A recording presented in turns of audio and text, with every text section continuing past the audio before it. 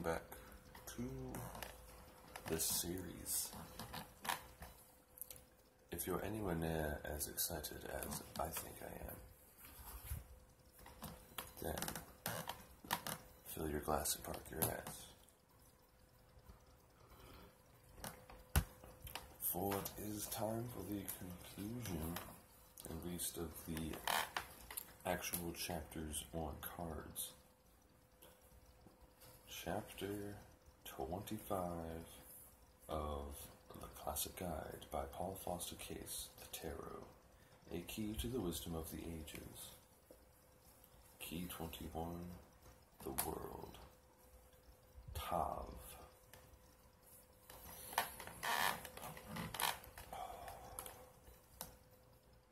Tav, TH, sometimes T, value 400 means signature or mark, but this mark is a cross of equal arms. Like that on the breast of the high priestess, this letter is called Tau in the Greek alphabet, and the Egyptian Tau cross is said to have been a tally for measuring the depth, depth of the Nile. Also a square for measuring right angles. Among the Hebrews, it was a symbol of salvation. Ezekiel 9:4. Thus it represents salvation from death and eternal life. As representing a signature, this letter implies security, uh, guarantee, pledge. It's not guarantee, what is that? Guarantee? Can I not spell today? G U A R A N T Y. Pledge and so on. A signature signature is that what makes business instruments valid. The letter Tav therefore indicates the final seal and witness of, to the completion of the great work of liberation. Center, sometimes called the Palace of Holiness in the midst, is the direction attributed to Tav. This place of holiness is said to sustain all things. In Kabbalistic writings, it is said to be Jerusalem or Zion, where man can commune with God. The Hebrew word for palace is H-I-K-L, or Haikal.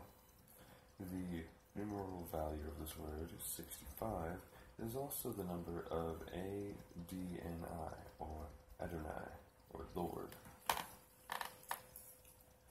In the cube of space, the letter Tav is the interior center, the point where the three coordinates which correspond to the three mother letters cross one another. This center is that point which is the fifth dimension.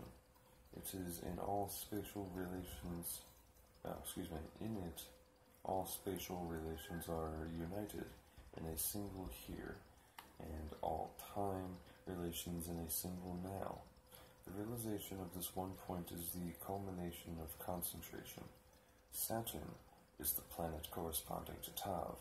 According to mythology, Saturn ate his own children. Saturn, also known as Kronos. He represents that which absorbs its own expressions back into itself. Exoterically, Saturn is the planet of inertia, concreteness, profundity. Profundity? How would you pronounce that? Weight.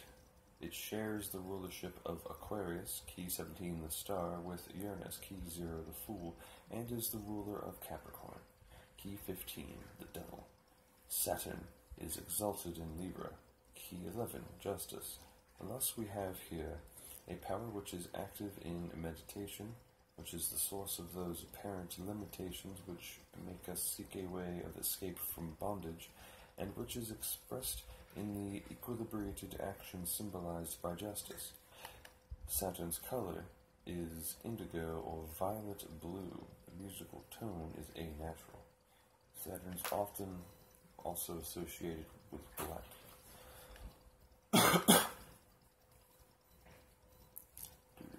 Dominion and slavery is the pair of opposites attributed to Tav. Right interpretation of the, of the necessity for limitation in any form of manifested, manifested existence excuse me, is the secret of domination, or excuse me, dominion. It also helps with domination. If you bite off more than you can chew, then you just embarrass yourself.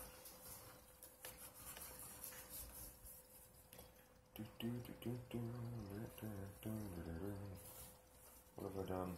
Lost my place. Wrong interpretation of the same thing is the cause of our slavery to conditions. The clue to the right understanding is the aphorism, He who would rule nature must first obey her laws. Administrative intelligence is the mode of consciousness attributed to Tav. This is consciousness of active participation in the cosmic government. It is entry into the kingdom of heaven as a fully enfranchised citizen, charged with full responsibility for the execution of its laws. The number 21 is connected with 12 and 3. It is also the sum of the numbers from 0 through 6. Compare it with keys bearing these numbers. In particular, study key 21 as the summation of the ideas represented by the series of pictures from 0 through 6. Again, 21 is the culmination of the series of trumps numbered 3, 6, 9, 12, 15, and 18. The world is the commoner title. Sometimes this key is named the universe to indicate that the consciousness it, re- it represents is not merely terrestrial but truly cosmic. The four animals at the corners of the design have been explained in connection with the tenth key of tarot. Note, however, that in key 10 the bull faces the lion, but in key 21 the bull faces away from the lion. This is because the bull corresponds to the last letter of the tetragrammaton, IHVH.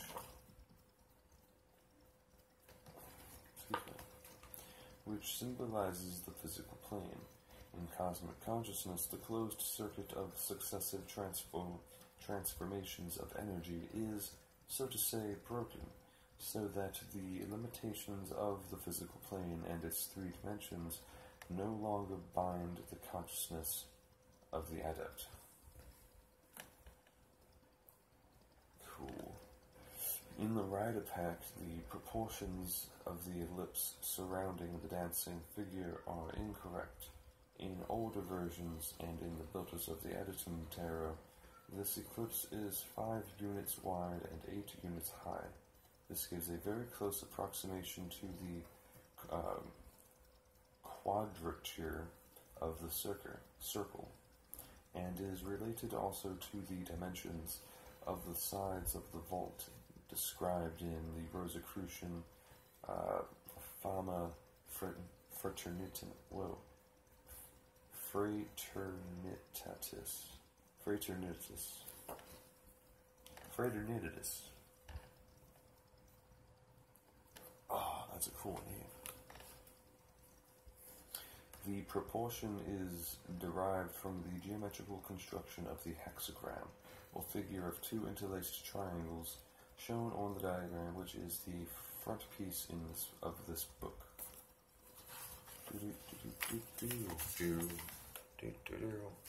See earlier videos for chapters concerning occult meanings of numbers.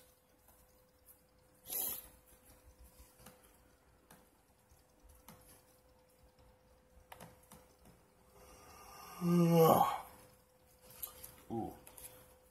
The Builders of the Adytum version, as in older packs, the ellipse is formed of 22 groups of three leaves, 11 groups on either side. These represent the 22 forces corresponding to. What in the world?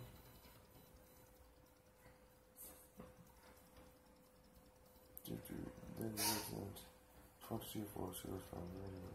I'm just going to start over fight. These represent the Lollipop Guild, the Lollipop Guild, the Lollipop Guild. No, they do not. These represent the 22 forces corresponding to the letters of the Hebrew alphabet and to the tarot keys. There are three leaves in each group because every one of the 22 forces has three modes of expression.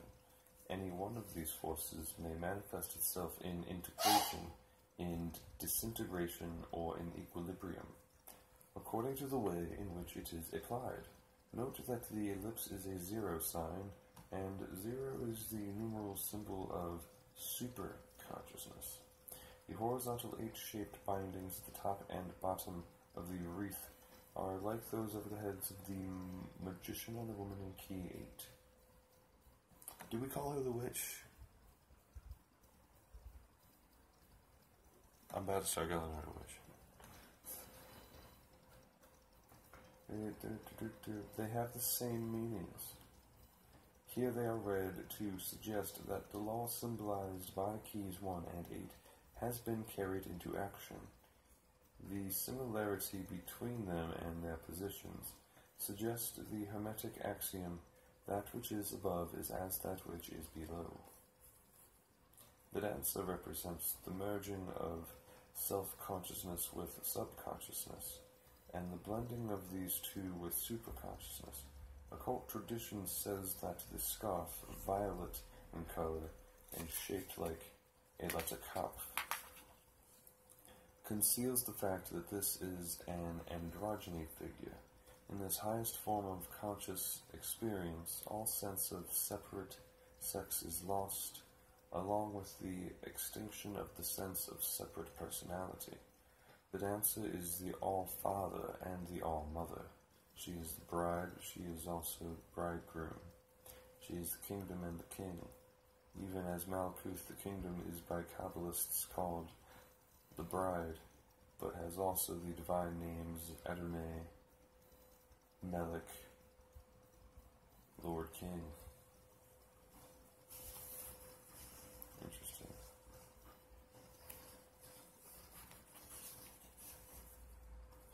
She bears two wands.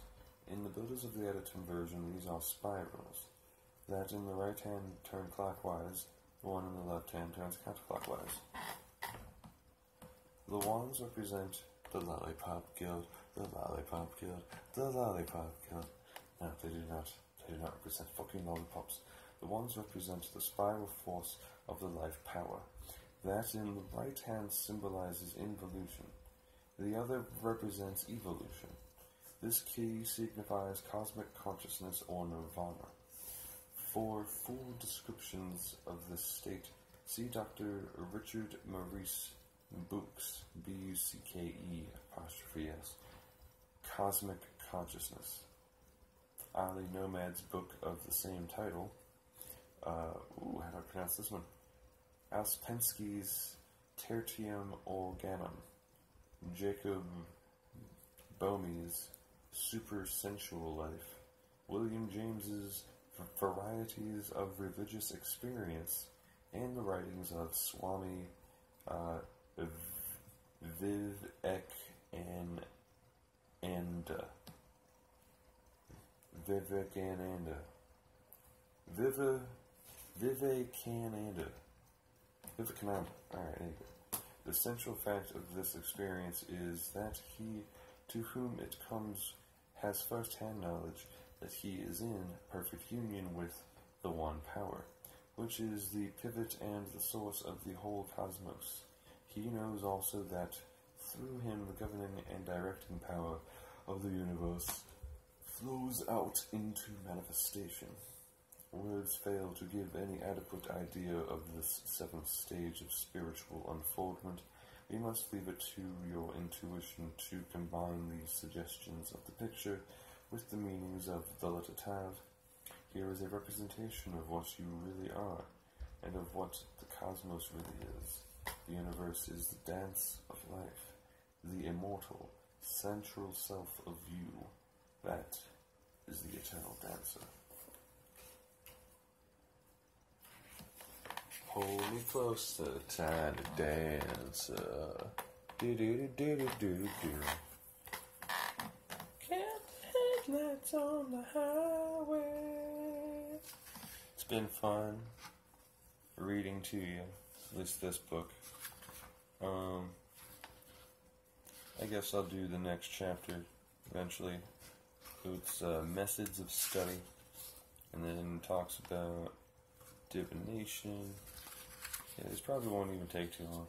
The last part of the book is mostly just lists, like like what the divinatory meanings of things are, and then some other cool combinations of stuff. But anyway, thank you for taking the ride with us. Anyone who actually bothered to complete the journey, I am most pleased with you. And also, I do apologize for having taken, what was it, six days to get this last chapter out? I'm embarrassed. But anyhow, do have a fantastic whatever time of day it is. Have a great now. Do it now. Have a great freaking day. I, I ask it. I'm not telling you to do shit because that's rude. Am I the only one who thinks it's rude to tell someone to have a nice day when they're leaving leaving the restaurant?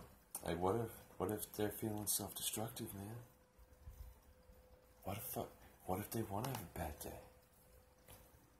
One dude got fired because he wouldn't stop saying "God bless you." I was like, "Hey, at least he's being polite, not telling you what to do as you walk out the door."